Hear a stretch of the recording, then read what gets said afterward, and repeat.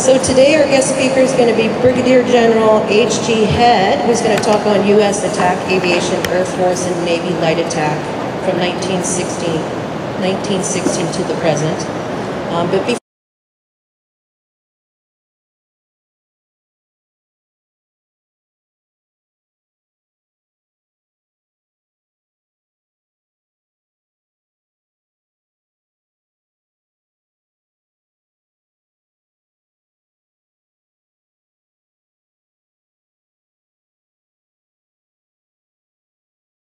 So, anything else? Okay, so Well, I'm going to talk about my latest book. Um, I wrote this during COVID, and with uh, uh, some help, I got a lot of telephone interviews. There are 53 stories in the book, and I think it's kind of a, a, a for, for docents at a museum, because there are uh, lots of stories, anecdotal stories I got from talking to Navy and Air Force pilots, and it was just uh, a lot of fun. Uh, so here's what we're going to talk about today. Uh, Air Force and Navy pilots are very different. They come from two completely different cultures. How many naval aviators do we have here? One, two, three, several. Okay, that's good. Air Force had difficulty with the attack. I'll talk about that in the 1930s. Naval attack on Midway, of course, is a famous story. Uh, Air Force rediscovered the attack in Vietnam using A-1s, primarily T-28s. Uh, we'll talk about the Air Force about the F-16. And that's a, that's a fascinating story. And the F-16 and the F-18 are tied up together. So I'll give you a little background uh, on that. Uh, that's me. I first I went to pilot training in 1960. Uh, graduated, went to uh, uh, Luke, the fly F-100s. Uh, the, the model of the F-100 was the C, and the J-57, same engine as the F-8. Uh, F-100 is a lot heavier, especially the D model, but we trained at Luke in C models. C models had no flaps. A's and C's had no flaps. 180 knots on final, plus two knots per thousand pounds of fuel. World's fastest tricycle. And uh, I was in uh, two deployments, one to Japan, Korea, and one to Turkey, pulling nuclear alert. Uh, that's what we were doing. At the same time, Navy was pulling lines on, uh, on carriers. I volunteered for Vietnam. When I got there in 1965, I was one of 17,000 uh, Americans in country. We had Vietnamese markings on the airplane. We flew with Vietnamese. We, we taught their pilots. Had pilots that trained in the U.S. Um, came to uh, Vietnam. We how to dive bomb. And then on combat missions, we flew with uh, enlisted men who at least could speak the language if we were forced down. Now, why are Air Force and Navy pilots uh, culturally different? First of all, Air Force uh, squadrons are twice as big. 24 squadrons, uh, three squadrons in a wing, uh, 72 airplanes, uh, 30 or so pilots. The F-100, it was just pilots, no, uh, no backseaters. Uh, fighter or attack, the Navy was 12. The big difference was we had a squadron of 30 pilots, one enlisted man, no maintenance. All of our maintenance was consolidated. The uh, Strategic Air Command was taking over the airport, and they had consolidated maintenance for all their bombers, and so, by golly, uh, the fighters were going to have uh, consolidated maintenance also. We had uh, 72 airplanes and 56 crew chiefs. Go figure. Not a very high-end commission rate. We weren't getting very much flying time, and that's why I volunteered for Vietnam. Every squadron in the Air Force maintained constant readiness, C1. So you can only let two guys go on leave at a time, and the airplanes had to be kept in very good shape also. Now, several years ago, when it became apparent that the readiness accounts were not being fulfilled, none, no service could keep uh, squadrons at C1, more than uh, just a very few. And so three years ago, the Air Force changed and adopted the Navy system of when squadrons return from deployment, they go into essentially a C4 system. They re- uh, regenerate and they don't do much flying. And then as they get close to deployment, they have a four-phase system and they do basic training, intermediate training, and advanced training, uh, red flag, other things. So it's very interesting to me to see uh, this evolution where the Navy system of uh, cycle uh, uh, readiness Of course, the big difference was we never trained for a sea target. We did a lot of dive bombing, a lot of nuclear practice low level. Uh, never, never planned on a sea target. And of course, Navy guys have led and uh, sea target. But the big difference is this. I love this one left, 10,000 feet runway. We got two very, very good ideas from the Navy. In fact, I would say three. First of all, we got the fancy lights on the left-hand side that give you the approach slope indicator, two and a half degrees or so on the glide slope. The second one was putting tail hooks on airplanes. Uh, the F-100 had no tail hook, the F-16 does. And we re-equipped all Air Force airplanes, all fighters and attack airplanes, with tail hooks. They put a spring-loaded tail hook on the F-100, so this guys flying Vietnam actually had a tail hook. And the third really good idea is the approach and uh, barrier engagement, and that's what I caught in the A-1 uh, when I landed. Makes it a lot easier. A lot of pilots got killed when their airplane would land, turn over, catch fire. Um, so that was a great idea. It's pretty much beyond the imagination of any Air Force pilot for these two sight pictures. And uh, seeing a ship about uh, a mile out there and about uh, half a quarter of a mile here, uh, rolling pitching deck, and look at this. This is Palm sea and daylight. And doing that at night in a rolling pitching sea with thunderstorms, pretty much beyond our imagination. Uh, I really hand it to, to Navy and Marine Corps pilots. So, here's a sequence that I've chosen not to tell the individual anecdotes, which are all in the book, but kind of give you an overview of attack airplanes. Everything started about 1916. July 1st, 1916, the Battle of the Somme started. The uh, General Hugh Trenchard massed his airplanes. Okay. Uh, his airplanes to support the Army, and the Army needed it. They had 30,000 casualties the first hour and 60,000 the first day. And they made about two or three miles, which the Germans took back uh, the following day. Billy Mitchell did the same thing in 1818, the two big battles that the Americans had. He massed over 1,200 aircraft, uh, mostly in a ground support role and some escort. So everything could fly, even the uh, scouts and pursuit airplanes that just had machine guns, you know, rolled in. And uh, they learned some lessons from that, uh, which we all know.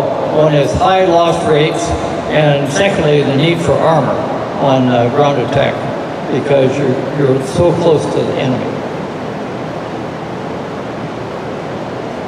Here in the 1920s, uh, both the Navy and the Air Force faced cultural problems.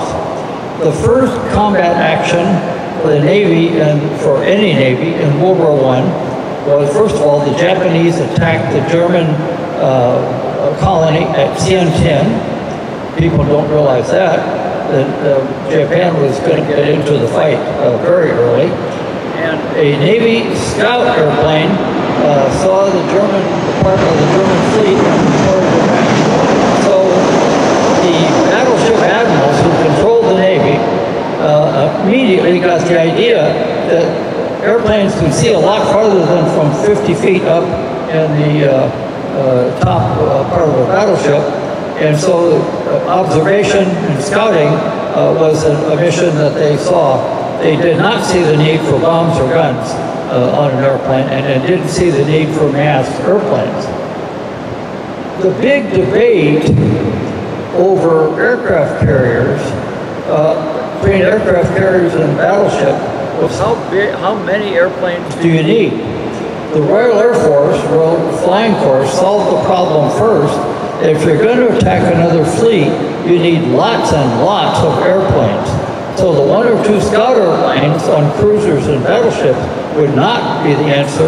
You had to have an aircraft carrier that could carry multiple dozens of, uh, of aircraft.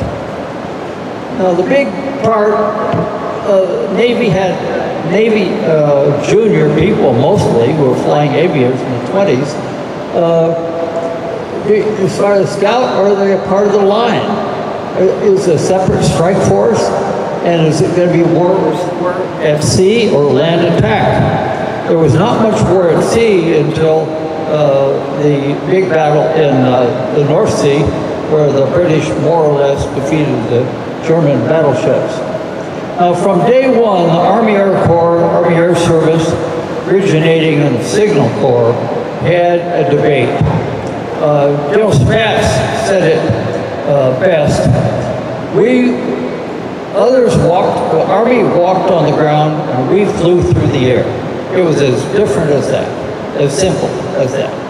And so, uh, one of the very first laws passed in the 1920s was that you had to be an aviator to command aviators. And that was a big change over the Army because they had, you know, they, in the Signal Corps, uh, the ranking person uh, had the, the- authority. But there was serious debate about should the, the Army Air Corps and later the Army Air Forces in the 1940s, should they support the ground forces in interdiction or should they do strategic bombing? Uh, Trenchard initiated strategic bombing in World War I, but it wasn't very deep. You know, it was just beyond the edge of interdiction. Uh, but the Air Force saw that only the strategic mission would lead to a separate Air Force. And this is a story best told in Perry Smith's book, uh, The Air Force Plans for Peace. So, uh, and I'll get to 1935 when the big uh, change occurred. Uh, dive bombing, 1925.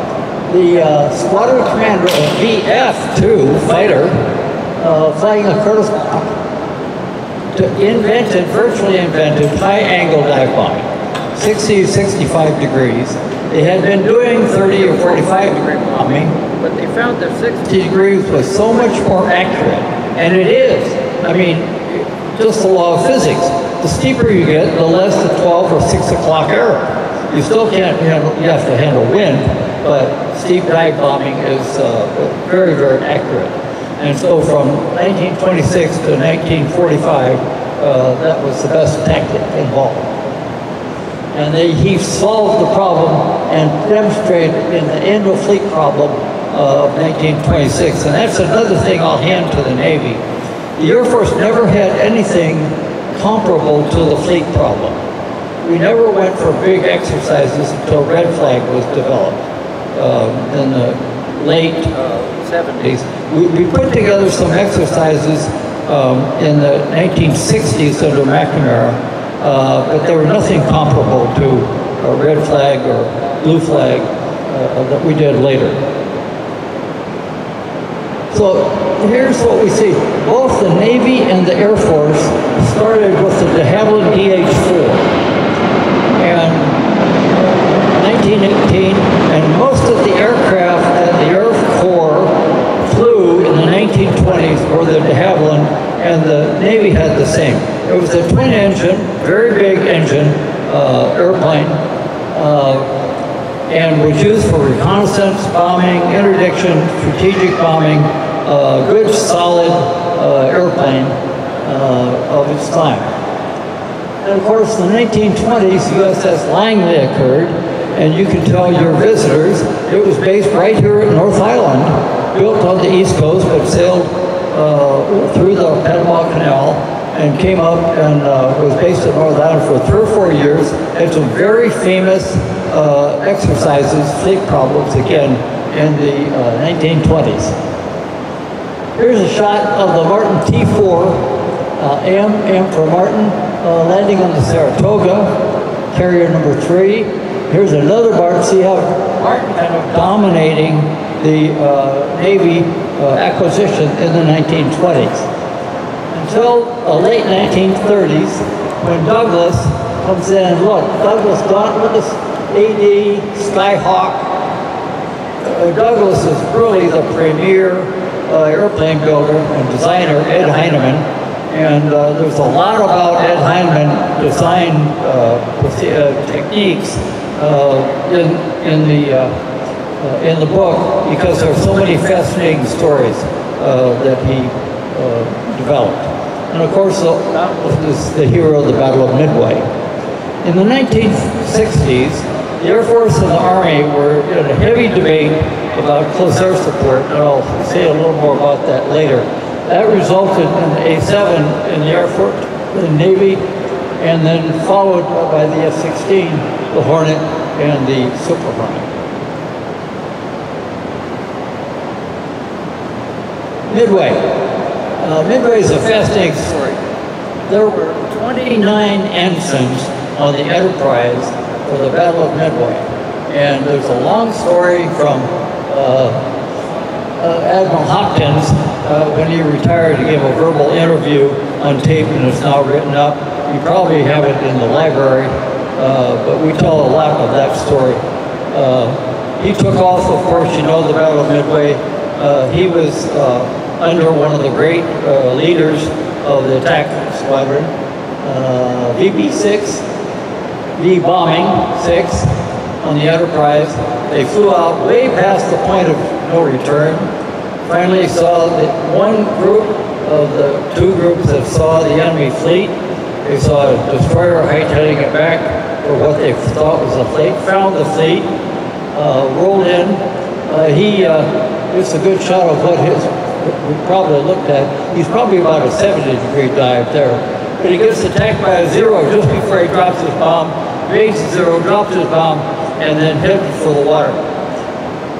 Flying about 50 feet over the water back to the Enterprise. Another ensign joins up on left wing, another one on the right wing. 40 miles out, one of the ensigns engine runs out of fuel, drops in the water. Hopkins noted his location. He was picked up. Within sight of the carrier, the other ensign's fuel ran out. He goes in the water. And when, Hyde, when uh, Hopkins made it back to the carrier, he was one of five airplanes in the attack field that made it back. Amazing, amazing, amazing story. And here, of course, is the result. You can see Japanese lost 320 airplanes. We lost 150.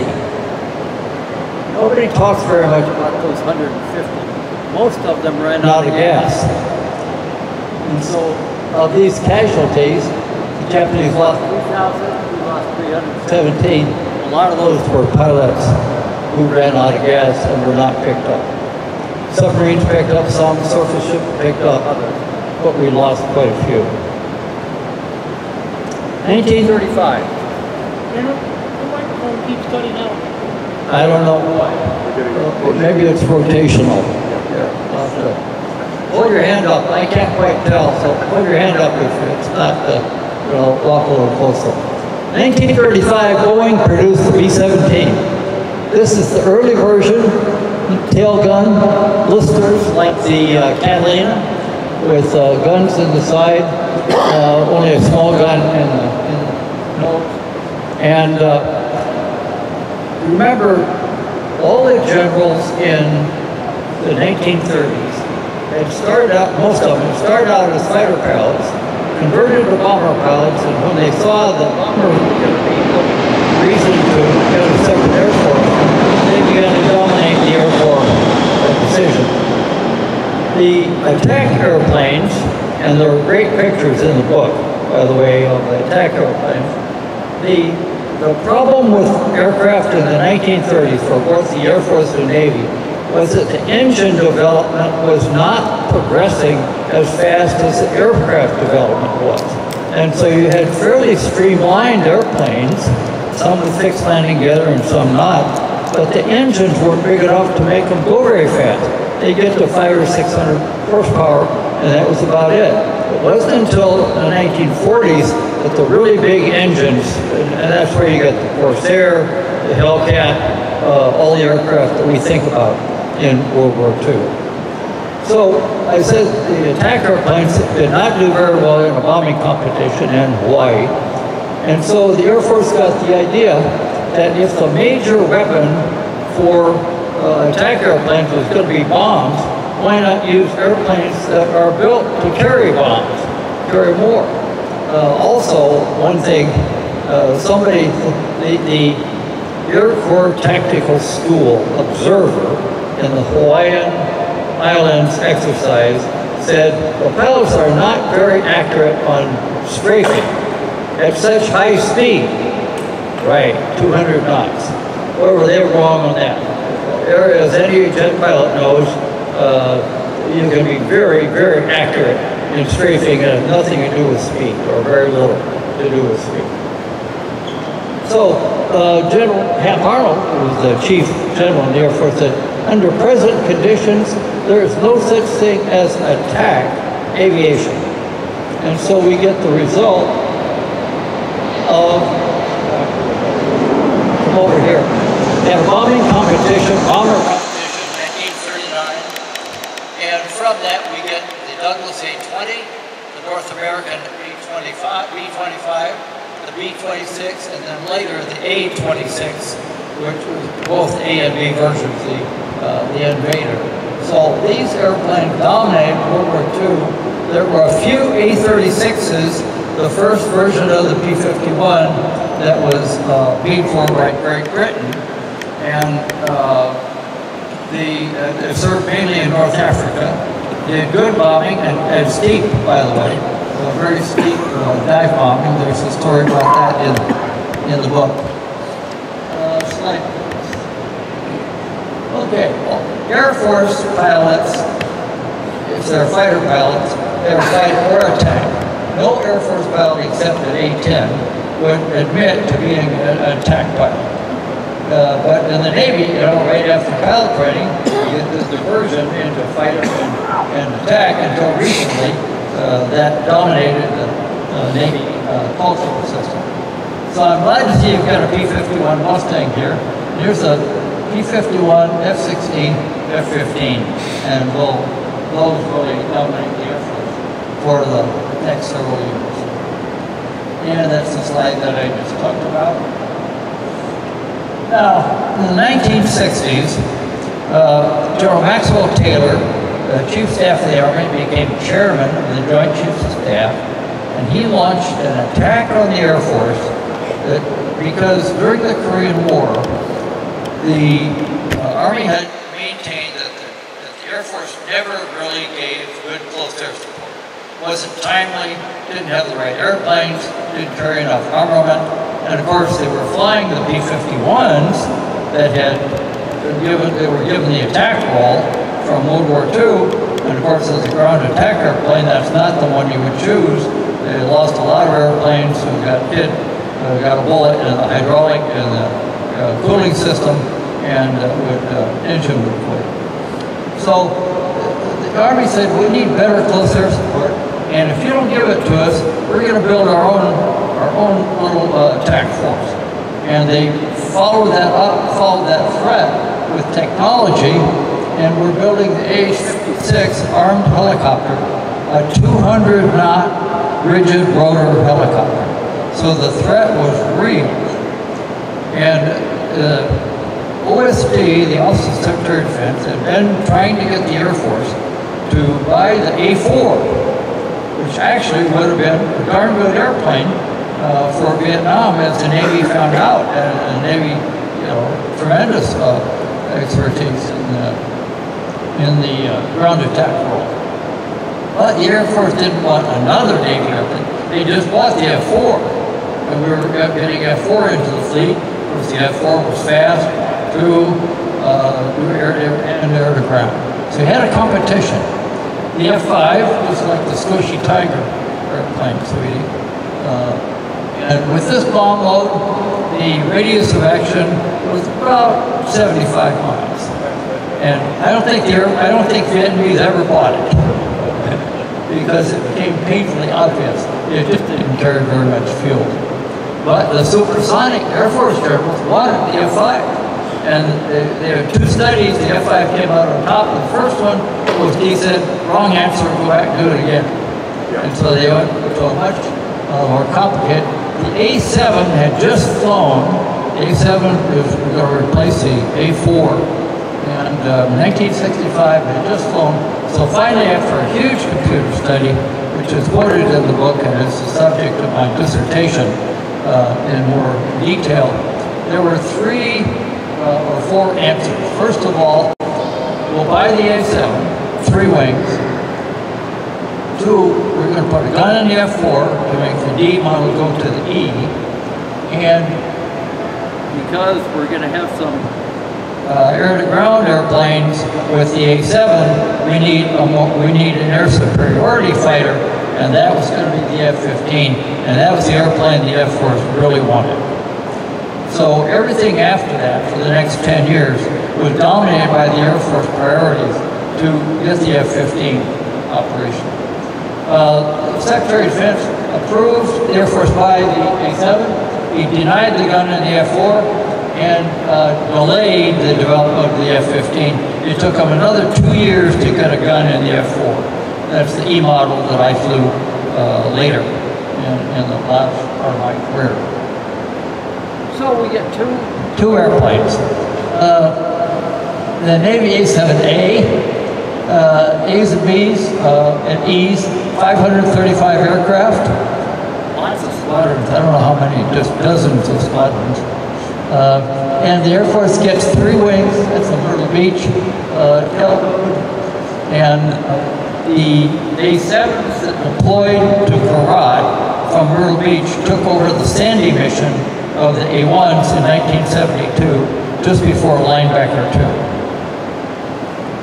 So, the, now Vought did not understand what had just happened because he had a Navy project manager, an Air Force deputy who was a one-star, actually he was a colonel at the time, he was a colonel, and a Navy captain who was a Navy deputy. Well, the, these two guys, Bob Hales and Bob Doss, called the Bobbsey twins, got along together, and Bob Doss is a legend in the Navy. He had been in VX-6 at China Lake. He had an A4, he was the A4 squadron commander. His A4s, he demanded all the avionics be top-notch, so doing the nuclear deliveries and everything, everything was right up to shape. A lot of A4 squadrons didn't put that much emphasis on the avionics. And so the Navy and A and B did not have advanced avionics. Well, the big first problem was A and B were underpowered. Navy didn't really think it had a problem because with the catapult launch, it's not such a big factor, uh, even heavily loaded, although uh, they had uh, forgotten to test, or didn't test until later, the steam ingestion that the A's and B's had, which reduced the load they could take off. Turned out that they couldn't carry much more than the A4 uh, on the A and B version. So the first thing the Air Force wanted to do was to get a new engine in there, and Pratt Whitney was slow rolling the Navy on making a better engine, but they were selling TF-30s. Of course, TF-30 for the uh, F-111, TF-30 for the F-14, I think. Yeah, same TF-30. Uh, so we got a new engine. What again? The Air Force in 1954 had consolidated and replaced all of its multiple uh, uh, cannon with the rotary cannon. Jim, welcome aboard. Here's an A7 guy. Uh, Jim wanted to give some of your lectures on he flew the E model. And I'll get to the avionics shortly. Jim's given me a lot of tips on the A7E. Um, so the Air Force and Navy could not resolve the issue on the guns. Uh, they had two slide cannon or four slide cannons in the A7As and Bs, went all the way to Secretary of Defense, and McNamara directed the Navy to put the rotary cannon in the uh, A7E. And so they did, and with the change, Bob Ross told me, with the change in the fuselage that we needed to make with the new engine, the uh, rotary cannon, that was the time to make the avionics change. And so he and Bob Hales uh, got together, went around, and, and the, it, it's a marvelous story of, of politicking within a professional organization. Uh, and I've got a little model uh, that one of the professors developed. You get consensus among your colleagues at your level, your rank level, and when you when you get that consolidated, then you start to go vertical. And you don't argue in terms of a new mission or a new strategy, that's too much for people to change. You're just improving something that has been tried true mission in the service today. So ground attack was still there, but the change from uh, from uh, to, uh, from analog to digital computers made all the difference in the world. It accounted for wind, and I'll show you the. Uh, and it gave you this. It gave you a heads-up display. It heads out of the, out of the uh, instrument panel. Uh, the instruments where there are 14 pieces of data that were displayed on the A7E uh, and D uh, windscreen, and the next variation of it goes into uh, the FA-18 and uh, the F-35. So this was 1968. Uh, this system was What, what's the point seven accuracy?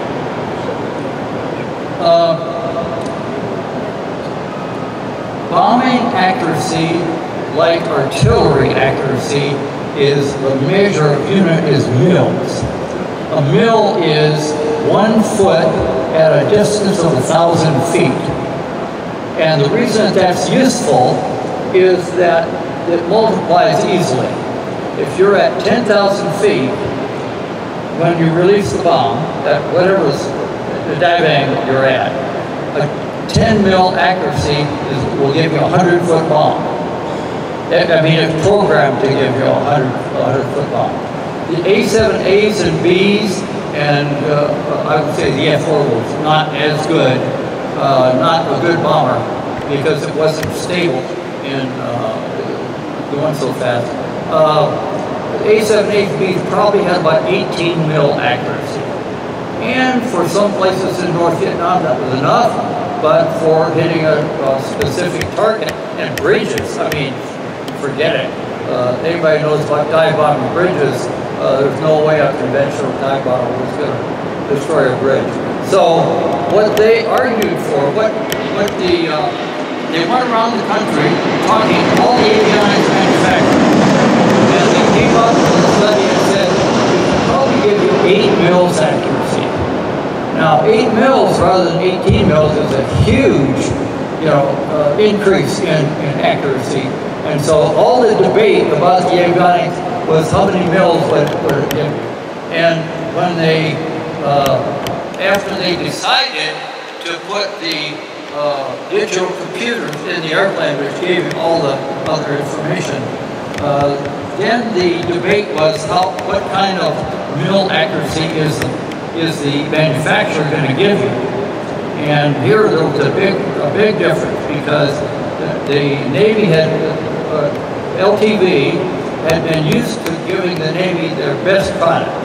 We'll do as good as we can. They did not want to guarantee 10, 10 mils accuracy.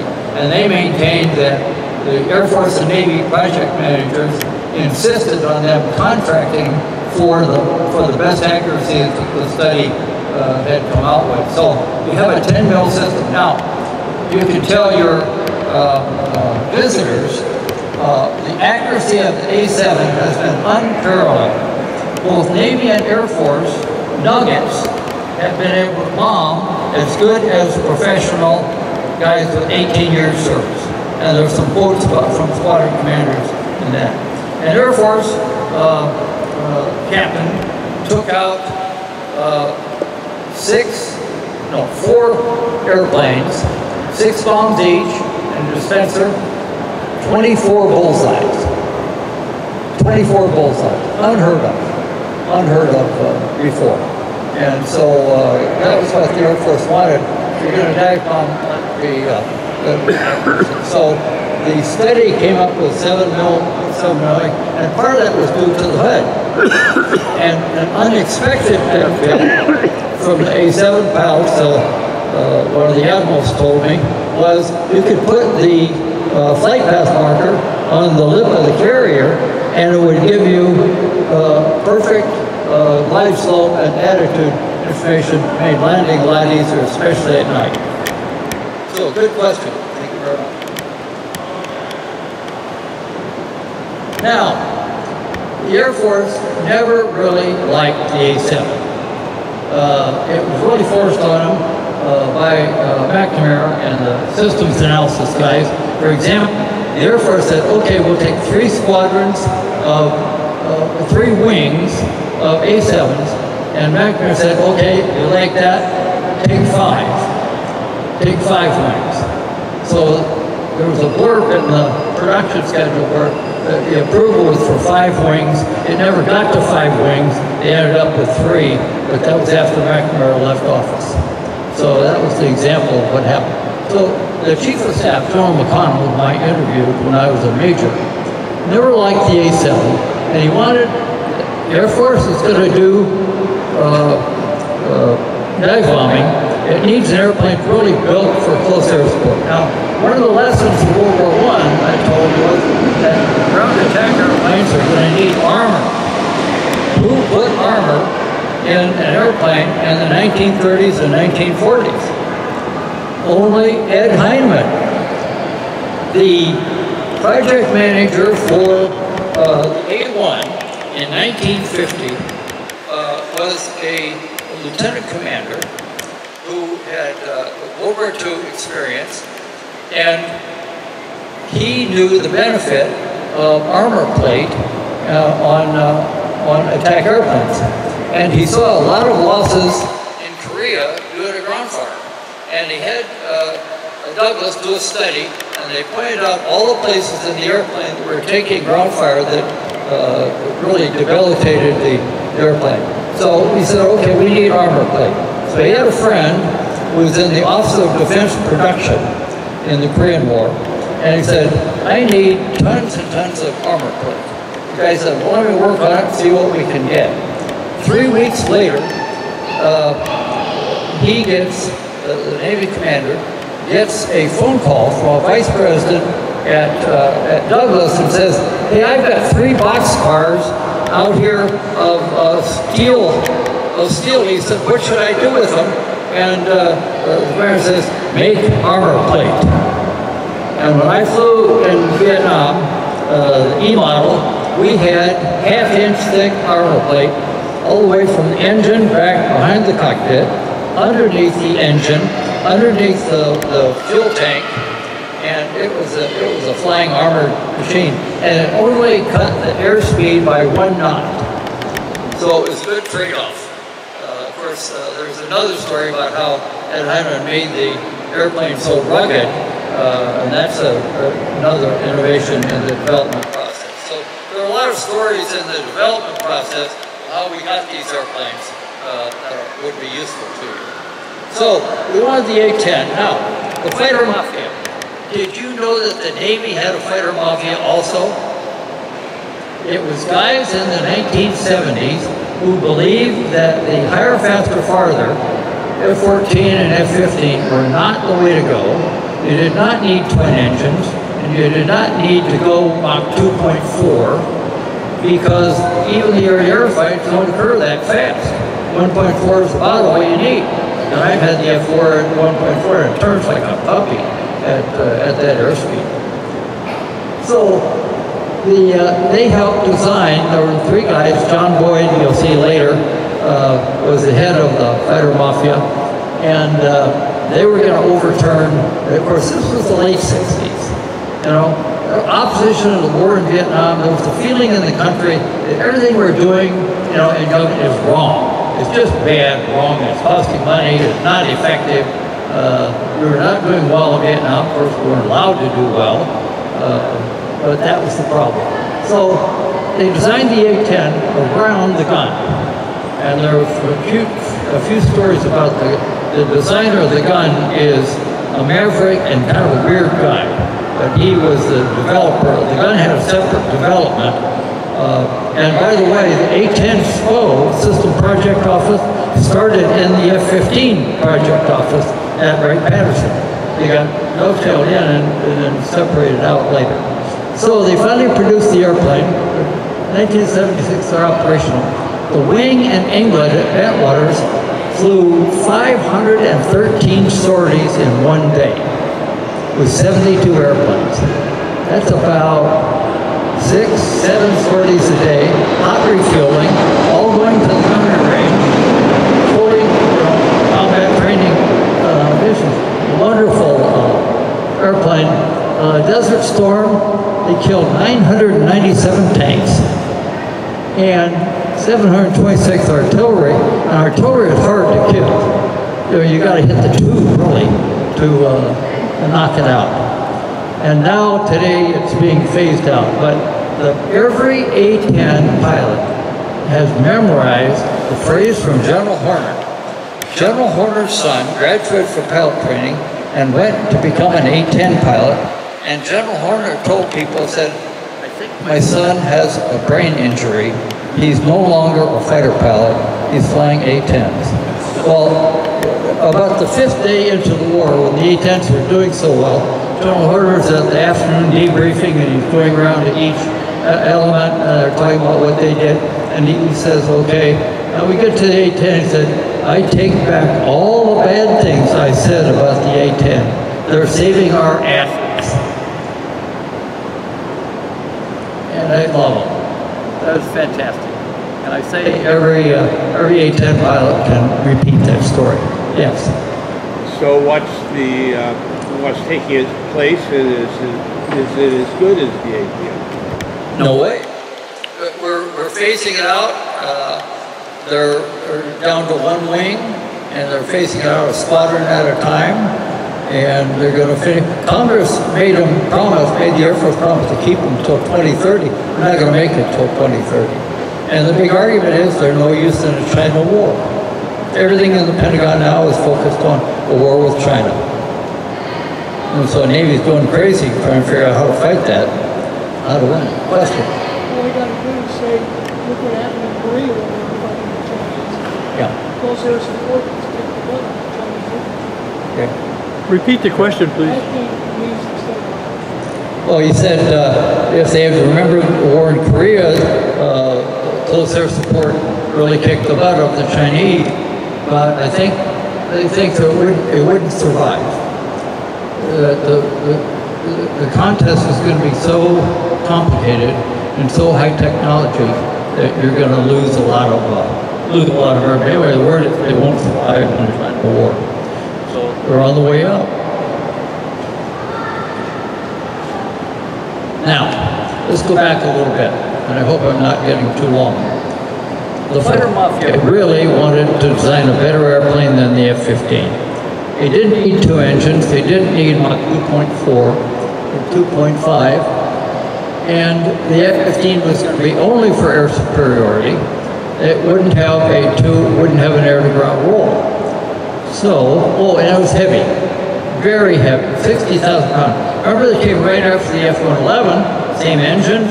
So the F-15 was originally designed with a swing wing, even a swing wing like the F-14. And you have all that heavy, uh, all that weight. Well, these two guys really got together, and this is the fighter. John Boyd was a fighter weapons school instructor.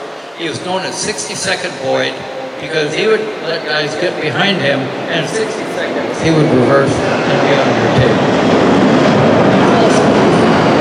He had two master's degrees, uh, went to Georgia Tech, uh, and he had an idea that we could do a 20,000 pound airplane called the Redbird, and uh, there were three miracles that happened that developed the F-16 and later the F-18. First of all, Mike Loh, one of my classmates, was a major in the requirements office in the Air Staff, and the head of the office got a $149,000 uh, grant, and he said, Wilk let that out, that they put the RFP out to industry for $149,000 and they let industry bid on it. The industry sent their top engineers to, for conferences uh, at the Pentagon in a motel near the Pentagon at nights and weekends because they were deathly afraid that somebody would find out they were developing an alternative to the F-15 and they'd kill the program. So the first miracle was that was such a small contract. Now, why would a manufacturing company send its best engineers to work on a uh, $90,000 contract? Because they know there's a billion dollar contract behind it for the winner of this competition. And so with BUOP, you got a 50-50 chance of winning. So the result was, the second miracle was that the McNamara administration got voted out of office. Uh, Johnson came in and then Laird became Secretary of Defense. And Laird's deputy, Packard, from Hewlett Packard, set aside, uh, I think it was uh, $2 million for prototyping. Now, the Air Force was already a leap ahead. They had been designing this Redbird, this wonderful air-to-air airplane, uh, with a $149,000 contract, and so that was going to be their one of their prototypes. And the cargo airplane for the C-17 was the second one. The Air Force won both of the prototype contests, and they had enough money to fund the F-6, YF-16 and the YF-17. So the second was Packard putting this money aside to have an internal competition of actually flying airplanes instead of designing them uh, only with computers. And so the fly-off competition was very close, very, very close. The F-16 won. Uh, it was a little better in performing the air-to-ground role, uh, but they were both uh, good to fly. The uh, Cobra divided by Northrop uh, is a little different uh, and did not develop directly into the F-18, but I'll, uh, I'll get to that. So, and the Mike Loh, the major, in the requirement shop, had, to come back but he got a fellowship to go to MIT, and he wrote his master's thesis on fly-by-wire control systems for aircraft was assigned right back in the requirement shop implementing the very thing he had written his master's uh, thesis about. Amazing. And so the F-16 was lighter because it saved the weight of all the hydraulics uh, in the airplane except for the landing gear. And the third miracle was, he said, okay, now we've got the winner of the prototype competition. What are we going to do with it? At the same time, the uh, Air Force was bargaining with the Secretary of Defense to increase the number of Air Force wings. And so the Secretary of Defense said, if you buy the F-16, we'll give you six more wings of, in the total fighter force structure. And at the same time, the uh, NATO chipped in and said, we need to replace all the F-104s that are in Europe, you know, standing nuclear alert, and uh, they're getting old, and so we will chip in, and so if the United States buys the F-16, we will buy it for our NATO countries. They ended up, uh, I think 39 countries bought the F-16. That was the third miracle that came out. The F-16, back a little bit. The F-18 follows the F-16 by about three years, and in that three years, they interviewed a lot of A-7 pilots, Jim, uh, at uh, Northrop. Uh, the Navy was suspicious of Northrop because they had been an Air Force company, so it made them team with McDonnell Douglas, an old uh, Navy contractor. And in that three years, McDonnell Douglas called in the A-7 pilots and interviewed them and said, what do you need in terms of avionics? And so they took the A-7 avionics system, upgraded it, and in that three years, uh, they got a better avionic system than the F-16 had. And so uh, it's kind of ironic now that uh, air to air, the guys, pilots have flown both, say they like the F-18 better because it's got an integrated cockpit. And for air to ground, they like the F-16 better. I don't know about the avionics, but they were both uh, improved. So now at this point, the Navy had been flying uh, F-14s for air-to-air, even though they later put bombs on and A-7 for air-to-surface, air-to-ground. And with the F-18, they were originally going to have an F-18A and an F-18B, but the avi- avionics and the cockpit it improved so much, and they were able to put so many knobs dials on the throttles that they were able to combine the air-to-air and air-to-ground features of the avionics system.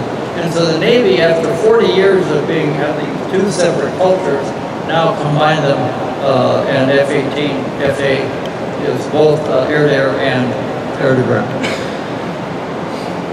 So it's no surprise that the Air Force long wanting a multi-purpose airplane, and now the Navy convinced of a multi-purpose. Everybody is loving the F-35 if they can only get it into production and, you know, but there was a talk that the F-35 is so complicated that it's, it's slowed down the effort. And of course, the software changes have been uh, just numerous. And, uh, well, again, operational 2015, it's hard to imagine. Been operational for eight years. There's still not very many wings. I think the Marine wing was the first one to be operational. The Air Force plans to buy 2,400. Israel's going to buy them. Australia's going to buy them. Uh, they're going to be the, uh, they're going to have a lot of F-35s. But Boeing never, who bought McDonnell Douglas after the disastrous A-12 problem, uh, Boeing was smart enough to say, you know, you- maybe you're not getting very many F-35s originally. We'll be glad to produce some more F-18s for you to fill the gap. And so they've extended their production, I think, two or three times now. So the F-18s are still the main aircraft on deploying carriers. Well, that's about it. Uh, we've talked about two cultures. Uh, they began with specialized airplanes. Uh, both remained specialized 40 years. 1960 is a big introduction of digital avionics that affected everything uh, up to the F-35. And with the exception of the A-10, uh, the Air Force has been multi-purpose uh, overwhelmingly. With the technology, now the Navy's multi-purpose, so diverging, diverging are now together in their training programs. Question? Yes, sir. Uh, It goes back to pre, pre-World War II.